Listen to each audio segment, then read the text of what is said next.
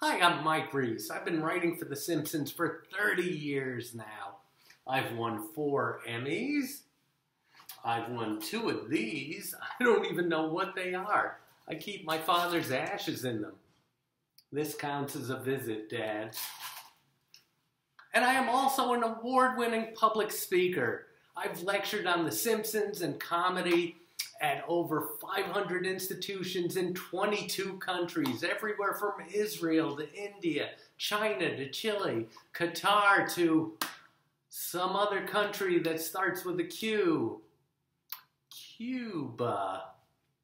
And I can come to you and bring you a lot of entertainment and information, all loaded with rare cartoon clips.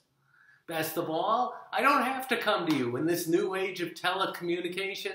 I can teleconference in with my speech. I'm comfortable doing that. I mean, look at me today. I'm not even wearing pants.